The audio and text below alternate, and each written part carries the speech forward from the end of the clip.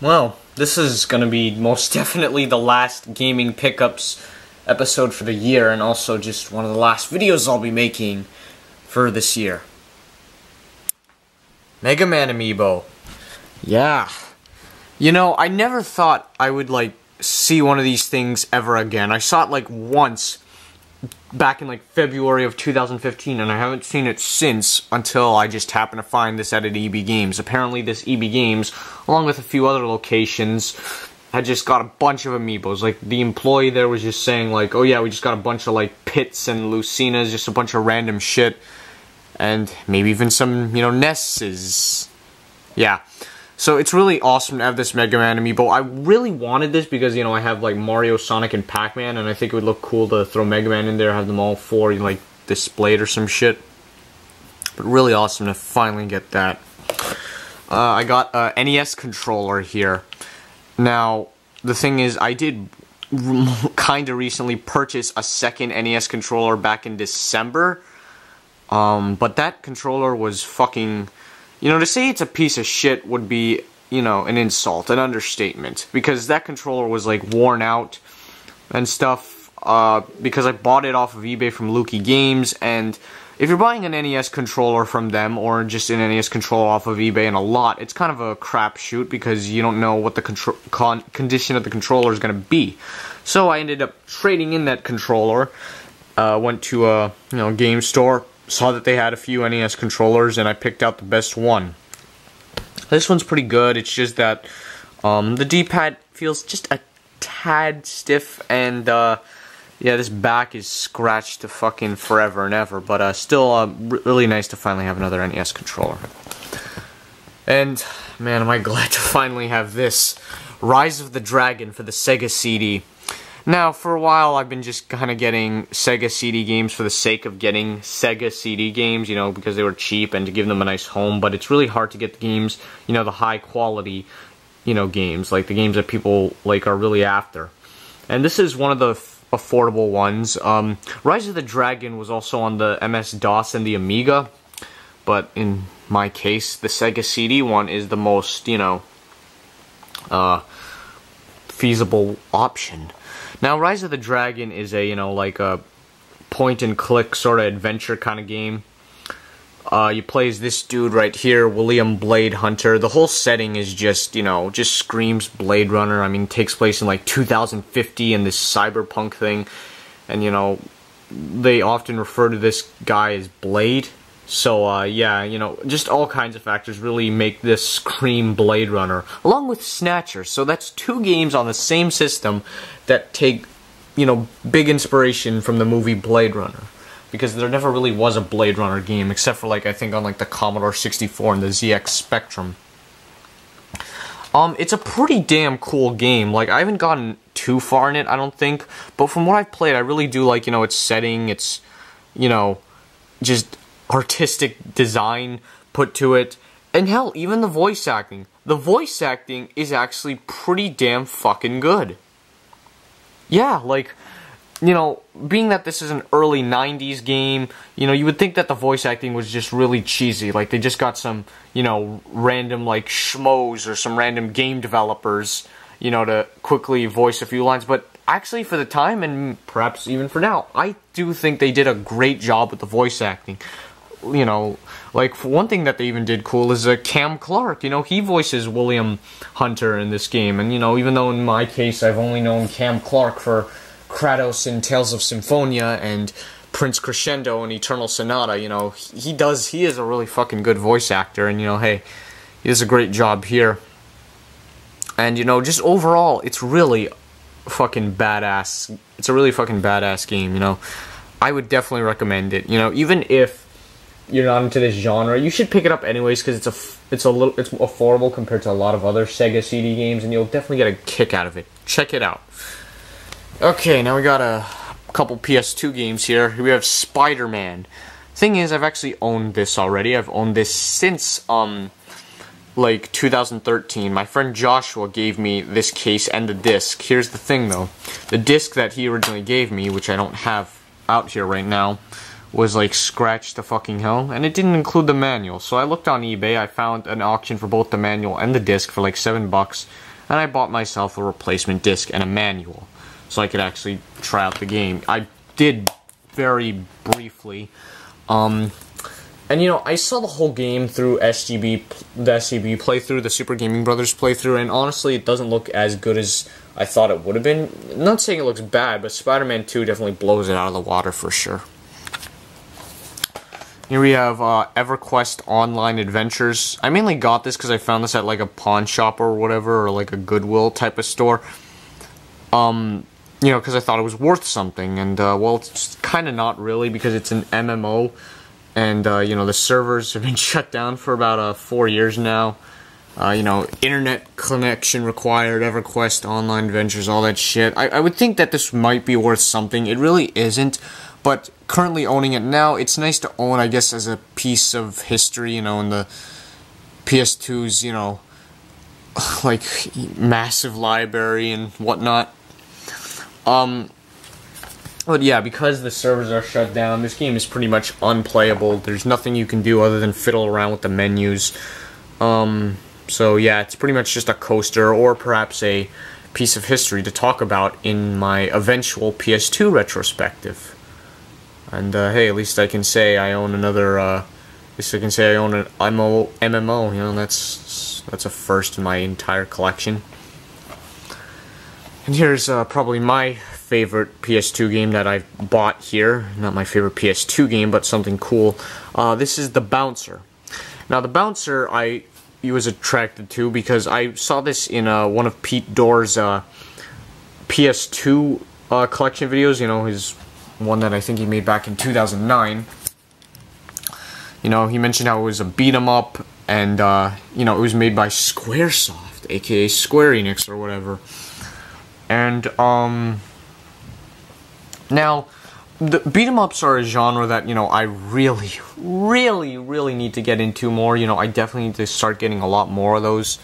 And you know, with something like this, I thought it looked pretty damn cool. You know, it's like a 3D beat 'em up for a system that I, you know, really want to pay more attention to because the PS2 is great.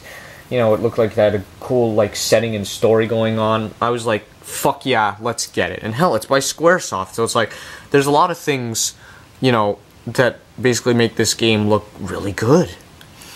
And uh, so I bought it. I beat it twice. Um, I'll explain why you might want to beat it more than once. Thing is, the game itself is short. It's only an hour long, or like maybe an hour and ten minutes long, which is uh, criminally short. You know, I mean, I know this is an early PS2 game because this was um the first game SquareSoft ever made for the PS2, and I guess you know fans were expecting them to put out an RPG, and you know they sure as fuck eventually did on the PS2, but uh yeah, I guess that was kind of a potential letdown. But because the game is so short, it just kind of eh. But the thing is, the game encourages you, encourages you to play more than once because they want you to, I guess, do full playthroughs as all three characters. Because between each stages, you have a choice of playing as, you know, either Sion, Kou, or Volt. Depending on who you pick, it does make slight changes to, you know, the outcome of the storytelling. Not so much really the ending, just storytelling. Well, actually, the ending does change slightly. So there are some like bits and pieces that would warrant you to play the whole game as say Sion or play the whole game as Kou or whatever. There's also like leveling up in between and whatnot, so you can do like a new game plus, so you can basically get yourself stronger and stronger for those multiple playthroughs. The stages themselves are also really short. A lot of them last like probably about like 40 seconds maybe, you know which uh, sure there's a decent amount of stages, and there are a select few stages that actually do last about a minute or so, but I don't really get why the stages are so damn short. Because, you know, they do have a good balance between stages and cutscenes for, I guess, a game as short as it is, but they really should have made the stages at least maybe a minute long or something. Because it's like, oh, what's that? I just beat up four enemies. Oh, well, now I'm already onto the save screen and onto the next cutscene, which is just kind of, well, that was some shit. Uh, the Bouncer is a pretty cool game uh, you know, might might be one of my favorite PS2 games. Hard to say. Uh, not one of the best necessarily. I think something like Urban Reign by Namco, another beat 'em up, might blow this out of the water. But it is definitely a you know PS2 game I hold in um, slightly higher regards, I guess. Pretty cool game though, but you know, yeah, it really need to be longer. Here we have uh, Dissidia 12 Duodecim Final Fantasy for the PSP. This is something my brother got, and you know, even if it's a game my brother gets and I'm not necessarily interested in, I'll at least attempt to play it just so I can say I did. Um, I did very briefly play this. Uh, it's got very nice graphics. Um, you know, it's, uh, I'm looking through the back just because I don't know what the hell's going on, and it mentions how, like, you know, you got various characters from various Final Fantasy games. You know, you navigate a, through a world map in true RPG fashion. Um, you know, got some art here, of various characters. Is that, um, trying to think of that. Is is that like Yuna or uh, Yuffie or whatever? That's a Tifa, I believe. You know, I'm trying. I don't know much about Final Fantasy. Um, if I can say anything about the game, the graphics do look nice, and you know, hey, it was a later PSP release. Um, but yeah, I'm sorry I can't say really much about it, other than hey, it's definitely something nice to, I guess, see my brother play occasionally and whatnot. Interesting sort of specimens. Here we have Halo 3 for the Xbox 360. I mainly wanted this because it was, you know, it's cheap because Halo 3 is a very cheap game, I guess as long as along with, you know, Halo 1 and 2. Um, and also, when I first bought my Xbox 360, it came packaged with Halo 3, but we sold it along with a couple other Xbox 360 games. And I was like, well, for the sake of, you know, nostalgia and whatnot, let's get it back, you know, so we can say, hey, at least we own the game that came with our Xbox 360 the Halo franchise itself is something I've never really cared about, though admittedly it'd be something I'd be more willing to try out than say Call of Duty. You know, it definitely is one of uh, those big franchises for Microsoft, maybe perhaps a system seller, I don't know. Then again, the Xbox 360 definitely needed more exclusive games. Uh, I did play it for a little bit now, and I did play it a bit back in the day because it was one of the only Xbox 360 games we had and uh, it's cool. Um, though admit, uh, though I'm not really into first-person shooters, and again, I'm not sure if Halo is a good starting point starting point for somebody like myself, but uh, it definitely is nice to have. And uh, yeah, you know what? I might as well talk about this.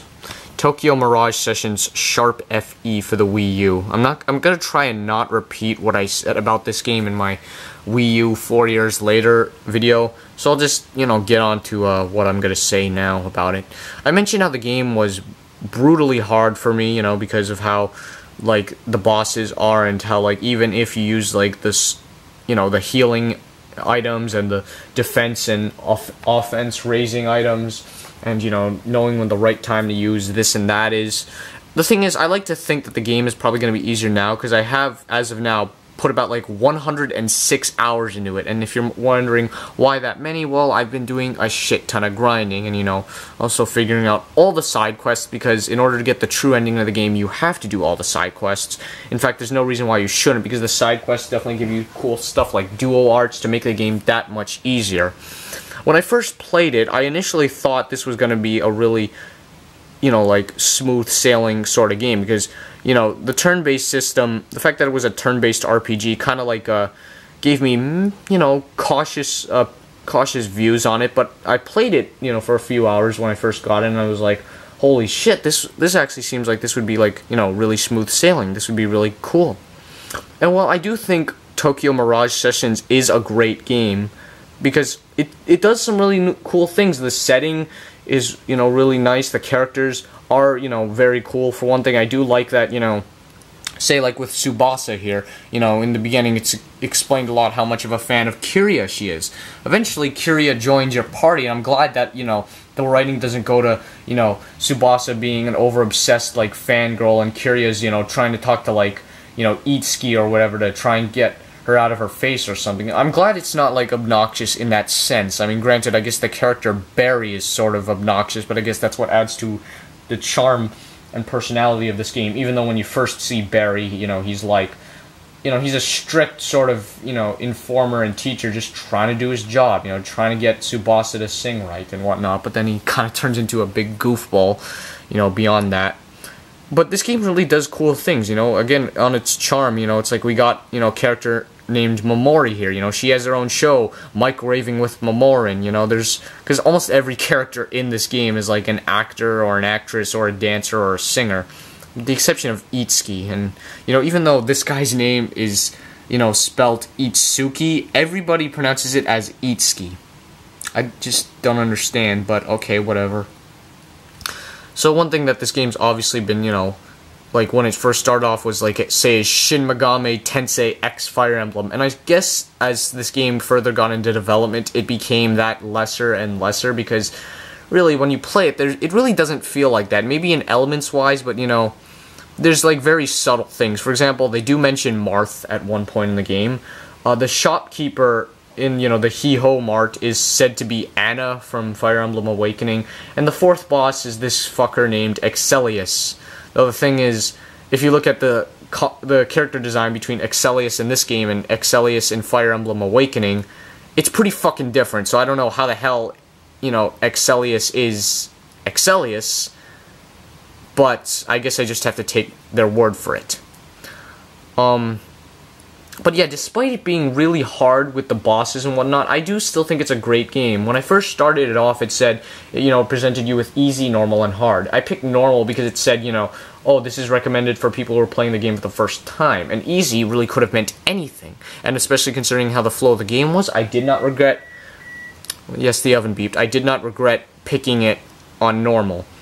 But, you know, I guess because of the fact that I didn't know, didn't do all the side quests or whatever, is what made the game so hard. I, it really did aggravate me, but I'm glad at this point I'm currently up to the final boss, and well, let's just hope that's not a fucking nightmare. But uh, Tokyo Mirage Sessions, you know, as I've said many times in this video, it's a great game. Maybe not the best to come off of after playing Tales of Symphonia, but it's definitely really cool to have, and easily one of the best games on the Wii U.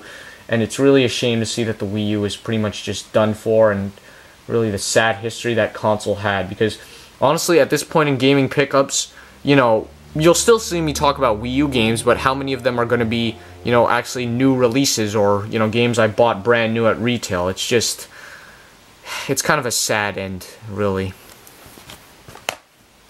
Um, Star Soldier for the NES. Uh, I haven't picked up an NES game since Con Bravo, and, you know, speaking of Con Bravo, I actually remember seeing this at Con Bravo. I looked at him like, Star Soldier. Isn't that part of that, like, well-loved Hudson series? And me being a fucking idiot, I didn't pick it up. Then, now I picked it up and I played it. I did play it before because my friend Fabio has this game. And uh, it's a pretty damn cool shooter. Not the best or the most, you know, rewarding of its kind on the NES or just in general, but it's pretty damn cool. Uh, there's like 16 stages overall, you know, you can get various power-ups and whatnot. It definitely is something, you know, you would need to like master and whatnot. But I don't think it's as addicting or as you know rewarding as a lot of other shooters, say like Life Force and especially Stinger, or even like Legendary Wings, you know, all NES games. But for what it did, it's pretty damn cool, and it's also really fucking cheap too. So it's you know a nice thing to own. Even though at this point I can't wait to get Star Soldier Vanishing Earth for the N64. Speaking of that, here we have Virtual Pool 64 for the Nintendo 64. Um, it's pretty cool to have another boxed N64 game, especially after, well, you know, I haven't picked up a boxed N64 game since, like, October of 2014. Um, yeah, it's pool, uh, but the thing is, it looked really fucking good. You know why? Because it looked like a really competent game, especially with the, you know, the ultra-real physics make virtual pool as close to real pool as it gets. And uh, they're not kidding. The physics in this game are, you know, really well made. And also the fact that, you know, you control your uh, aim by going by pulling back the analog stick and then pushing forward really adds a nice sense of, you know, realism and control to this game. And also, you know, it's just a really fucking well-made pool game and would blow something like Championship Pool for the Super Nintendo and Genesis out of the water. And, you know, it's cool to have it in box. You know, I got it in box for like $15. I actually wanted specifically to get it in box, and even though there's like this nasty sticker residue on the N64 logo, it still is a pretty neat little thing to have. And just shows, even with the N64's, you know, small library of 388 games, there are some, there's definitely, you know, some interesting stuff worth getting, you know? And I guess this is one of them, even if you're not, like, in a pool it is a very well made game. Uh, here we have Extreme G, also for the N64. I picked up Extreme G3 for the GameCube, you know, not too long ago, and I thought that was pretty damn good, even though my main gripe with it is that it relied on the boost a little too much, especially considering you don't get much boost in the game. This game doesn't rely on the boost as much. Um, there's uh the court there's a lot there's more courses than there are in Extreme G3 though they're a little shorter but there are some really damn good courses and just the overall racing action in general it does not disappoint. Supposedly Extreme G2 is a little like a bit of a letdown but I'm still gonna get it anyways because why not? Might as well get all three all four rather Extreme G games though the fourth game isn't called Extreme G4 this is definitely one of the best racers on the N64 and a quality title. It doesn't suffer from like, you know, oh, a lack of courses or, you know, lack of fleshing out. And also, it's got four players. And for its price point, I would definitely recommend it. Probably even the whole series, actually. Um, really good stuff. And now we have some really cool uh, Sega Genesis games. Uh, I'll show them both here. Uh, here we have Jennifer Capriati Tennis and Valis, two games published by Renovation Products. Games that I uh, had been willing to pick up ever since, you know, saw them on GameSack, though in Valis' case I saw it in the appropriately titled Donkey Kong Country and Valis series reviews, and Jennifer Capriati Tennis I saw in their Renovation Products uh, episode. Jennifer Capriati Tennis, um, well, it doesn't have the Jennifer Capriati license in Europe because uh, I guess uh, good old Jennifer here isn't well known enough outside of North America. In fact, has Jennifer Capriati herself played this game before? I didn't even know who the hell she was before, you know, hearing about it. But I figured, you know, I saw it at a game store and I'm like, fuck it, you know, I don't have much money anyways, let's pick it up. Um, it's a decent tennis game, I want to say. The problem with it is that, like, it doesn't feel like I can get into the action or like you know there's times where the ball misses the mark and you know it doesn't feel like my fault. I just like you know what the hell was i supposed to do? Press a b or c? Am i picking the wrong course? Am i picking the wrong player? It's something i'm still trying to figure out but overall it doesn't seem like a bad game in general. Valis. Oh man am i fucking glad to have valis. Um now Valis was one of those series that kind of, you know, just held my interest. It definitely seemed like something, you know, pretty cool, you know, and fun to play. The thing is, the Valis games do command above average prices, but it just seemed like one of those, you know, series in the 16-bit era that just vanished, that just stood out to me. I mean, sure, there's a lot of 16-bit era series of games that just didn't catch on or, you know, didn't live on past, like, 1995 or whatever. But something about Valis just, you know, really captivated me. I think maybe the third game, how there was a comparison to, like, Castlevania or whatever, but in the case of the first game, it's a pretty damn good game. Not the best in the series, but it isn't too frustrating. You know, it doesn't have really cheap deaths. Sure, the bosses will uh, spook you a little bit, shall we say, on your first attempts. You know, because you have to have your sword, you know, powered up at the right time. Uh, but it's really is quality. You know, sort of platforming and slashing action. And you know, even though it was like sixty bucks, I sure as hell don't regret it. And I can't wait to get the other Valis. Um, games. Hopefully, I'll have time to talk about the series more in general. Uh, yeah, it's called Valis because of the sword, not because of the character. The main character you control is uh, Yuko. But still, really cool to have, and definitely the most I've ever spent on a Sega Genesis game. 60, holy shit.